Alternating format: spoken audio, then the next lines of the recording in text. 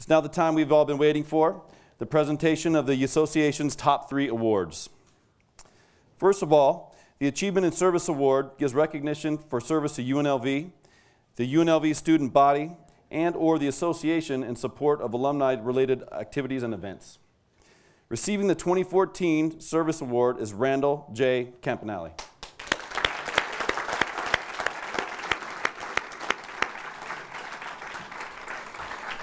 Randy has been a passionate and dedicated supporter of UNLV and alumni over the past 30 years. He served on the board of directors of the UNLV Alumni Association from 1984 to 1994. He represented the interests of UNLV on the UNLV Intercollegiate Athletic Council and on the Pew Foundation Task Force for UNLV. He co-chaired UNLV Career Day with Scott Johnson, and they dramatically increased the number of employers participating by personally calling them. He co-chaired the UNLV Legislative Liaison Committee and led a team of volunteers who convinced legislators to provide funding critical to the support of UNLV's rapid growth.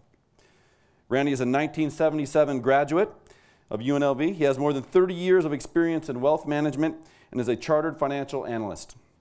Randy is a past president of the CFA Society of Nevada and has served on many investment committees for various nonprofits. He has served as a board member for the American Heart Association, Western States Affiliates, the Las Vegas Natural History Museum Board, the Las Vegas Rotary Club, and Nellis Air Force Base Support Team.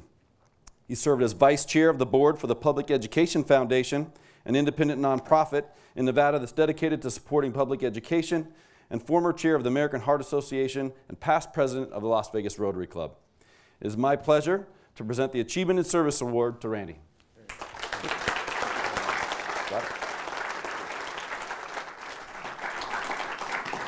Thank you, Mr. President. I, uh, you know, it reminds me of what Adlai Stevenson said many years ago, actually before I was born, I think, where he said these introductions like you just heard were like perfume. They smelled good, but they were tough to swallow. so, boss, President Snyder, Provost White, distinguished faculty here, um, I'd also like to recognize Joe Brown, who's here, who's a longtime attorney here. And like my former boss, uh, much of what's happened good, of the good things that have happened in Southern Nevada, have been through their efforts and on their shoulders. I'd also like to recognize one of our honorees, uh, Carolyn Sparks, who bears the scars of things that I and most of us take for granted. Perhaps not some of the, like Professor Hudgens, who have uh, toiled in the trenches, if I may. Um, I want to thank the Alumni Association, Mr. President. I want to thank my family um, and my guests that are here. Um, I'm going to take my two minutes and talk about something that I've wanted to get off my chest, and I'm not going to give this opportunity up. I realize I suffer the substantial risk of being the illegitimate, illegitimate child at the family reunion, but I'm going to say it anyways. You know, when you get older, I'm 59, you actually start, you don't think about your mortality, it just sort of smacks you in the face. And I'll, I'll give you an example. I grew up in Chicago, north side of Chicago. I'm a Cubs fan. And a couple of years ago, it actually occurred to me, I realized actually that I would not be alive when the Chicago Cubs won the World Series. this is true. This is true. And you know, every time I go through the spaghetti bowl and I see the 95 South that at the Spaghetti Bowl narrows down to two lanes. Okay, it irritates me. And then I remember, oh, by the way, you know, if you ever drive through Kingman, they have a freeway too that's two lanes. Okay, and then I remember that, well, wait, that's going to be fixed. But the earliest year it's going to be fixed is in the year 2020, which is when I'm scheduled to retire, by the way.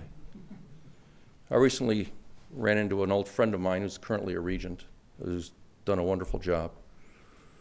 We were talking about the new funding formula, and he says, You know, Randy, we made it very clear that this funding formula is going to take 20 years to get fully funded. Well, I'm here to tell you that 30 years ago, we were working, however flawed the funding formula was, we were working just to get it funded, flawed and all, which never happened. And so I looked at this region and I said, I'm going to be 79 years old when this thing's fully funded. And then I read the Lindsay report yesterday, And I was actually very, very heartened through your efforts, Don, uh, Neal Smatresk, uh, President Harder, um, Provost White. I was disappointed to see the actual budget number for the South, which includes CSN and the and, and uh, Nevada State.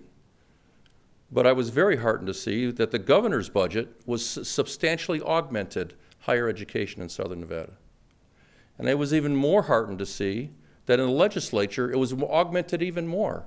So I want to thank the governor and our southern legislatures, le- legislators, and, and, and the rest of the state for augmenting this. But then, you know, when you get to the end of the report, however flawed it may be, if it is flawed, I'm sure some people think it's flawed. But, you know, the bottom line is, and that's when it occurred to me that perhaps I was going to die of old age, and we would still have a chronically underfunded city.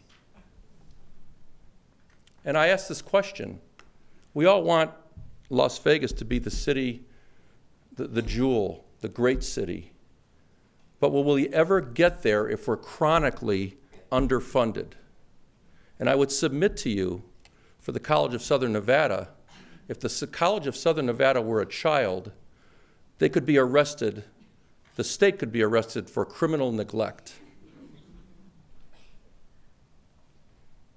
And so I have these crazy ideas. I hope I'm not getting you in trouble, boss. Like, I really personally don't care about the Democratic caucus for the state and the Republican caucus for the state. I know this is wildly idealistic, but why don't we have a Southern Nevada caucus? That's what I would like to see. And the only way it's going to happen is if you folks keep asking for it. Okay? And, and this is not such a wild idea because it's been done before.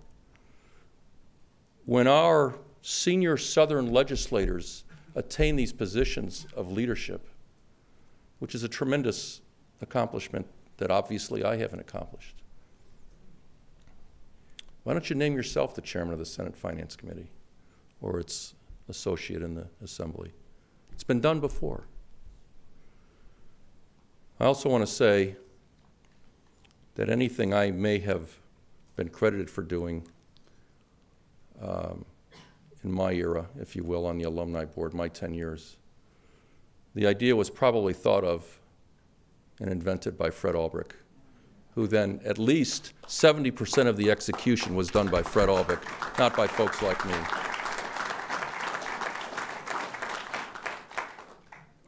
And so it's with great humility that I accept this award, and I thank the Alumni Association.